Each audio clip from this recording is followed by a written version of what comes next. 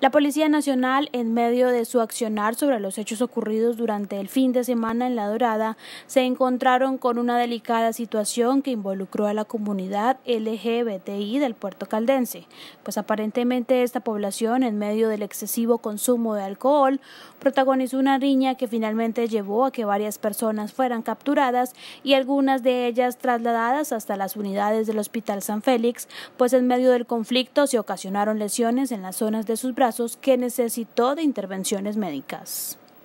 Se nos presenta un caso también donde varias personas de LGTBI eh, y todo este tipo de gremio de, personas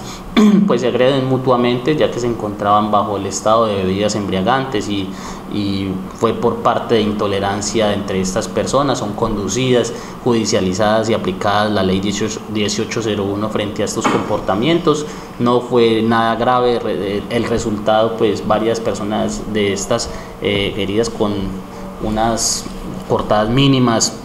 laceraciones mínimas, afortunadamente, pero se está teniendo el control de estas, de estas personas que están generando este factor de inseguridad en diferentes partes del municipio, especialmente en la zona céntrica, donde se, se aglomeran estas personas tarde de la noche. En medio de lo ocurrido también resultaron involucrados uniformados del sexto distrito de policía, quienes en su afán de mitigar las consecuencias de la pelea terminaron por ser golpeados y maltratados por integrantes de esta comunidad,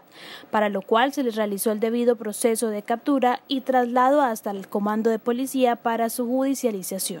Eh, tocó utilizar la fuerza ya que una de ellas eh, agrede a un policía y posteriormente pues se esposa y se utiliza la fuerza para poder tener el control de esta situación.